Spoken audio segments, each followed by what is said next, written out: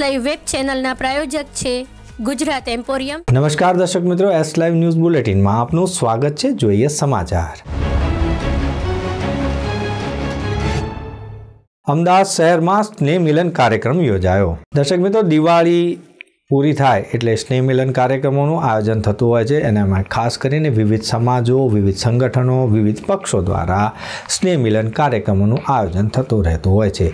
આવો જ એક સ્નેહ મિલન કાર્યક્રમ અમદાવાદમાં યોજાયો હતો, જેમાં અમદાવાદ જિલ્લા કોંગ્રેસ સમિતિના પ્રમુખ બળવંતસિંહ ગઢવી ઉપસ્થિત રહ્યા હતા. બળવંતસિંહ ગઢવીની, ગઢવીને કોંગ્રેસે તેમને વટવામાંથી વિધાનસભા માટેના ઉમેદવાર પણ જાહેર કર્યા છે. આ વિવિધ સમાજો દ્વારા યોજાયેલા આ સ્નેહ મિલન કાર્યક્રમ કાર્યક્રમમાં સમાજના વિવિધ વર્ગના લોકો પણ ઉપસ્થિત રહ્યા હતા અને દિવાળીની શુભેચ્છાઓ પાઠવી હતી.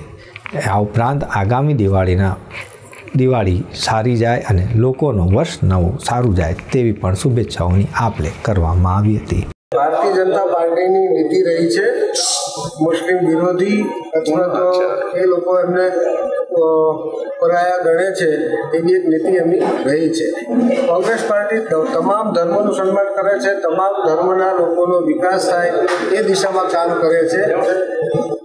માઇનોરિટીના વિસ્તારમાં વિકાસ નથી થયો તો અમે ત્યાં જઈશું, એ લોકોની પ્રશ્નો સાંભળશું અને બધો બધાની સાથે સમાંતર વિકાસ થાય એ દિશામાં અમે પગલાં બળવંતસિંહ ગઢવીએ પણ જણાવ્યું કે સૌનું નવું વર્ષ સારું અને ઉત્તમ જાય, સૌનું ઉત્સાહ કરી જાય તેમજ રાજકીય પક્ષ સાથે જોડાયેલા હોવાથી તેમણે કીધું કે મેં પચીસ વર્ષથી રાજકીય કારકિર્દી ધરાવું છું અને દરેકને સામાજિક રીતે પણ મદદરૂપ થવા માટે હંમેશા તત્પર હોઉં છું. એમણે એમ પણ જણાવ્યું કે વટવામાં તેઓએ ઉમેદવારી પણ નોંધાવી છે. હાજર સૌ લોકોને પોતાના ઉમેદવારી માટે પણ જાણકારી આપી હતી. સ્નેહ મિલન કાર્યક્રમમાં રાજકીય તેમજ સામાજિક દ્રષ્ટિએ હોય તેવા લોકો પણ ઉપસ્થિત રહેતા હોય છે. તેવી જ રીતે શ્રી બળવંત ગઢવી પણ ઉપસ્થિત રહ્યા હતા. દરેક વ્યક્તિ પરેશાન છે, દરેક પરિવાર પરેશાન છે માઇનોરિટી પરેશાન છે, દલિતો પરેશાન છે, વેપારી વર્ગ પરેશાન છે મીડિયમ સ્મોલ ઇન્ડસ્ટ્રીવાળા તમામ પરેશાન છે, મજદૂરો પરેશાન છે, બેરોજગારો, યુવાનો પરેશાન છે, પેપરો ગેસના બાટલાના ભાવ વધે છે. તમામ મુશ્કેલીઓ વટવા વિસ્તારમાં વધારે છે.